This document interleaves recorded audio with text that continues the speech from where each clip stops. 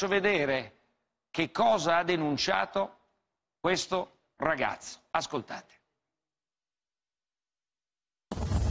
Se sono così è perché ieri sera ho rubato questo, indumento, ok?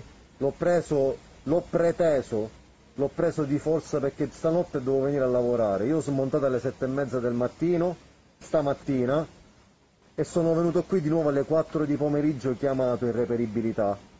Dovevo montare stanotte.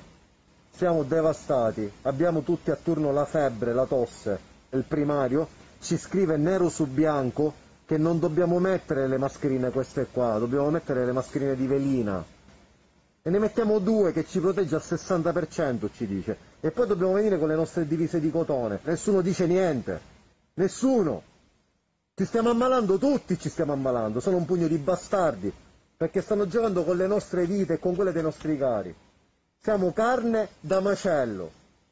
E io sono qui in una cazzo di tenda con le ambulanze che mi stanno arrivando in continuo con tutti i coronavirus. E non abbiamo più posti in pronto soccorso perché il pronto soccorso è pieno di casi di coronavirus, è diventato un covid center. E noi andiamo con le divise senza mascherine. Solo perché l'ho rubata c'ho questa cazzo di mascherina e questa tuta. Da domani non ci sarà niente e non si può fare questa vita, non si può fare. Eroi di sta minchia, siamo carne da macello, non siamo eroi. Siamo carne da macello